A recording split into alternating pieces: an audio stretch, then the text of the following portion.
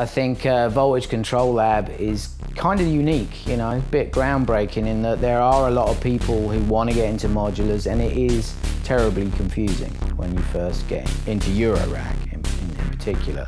The array of modules is, is overwhelming, how to use them, creative ways of using them.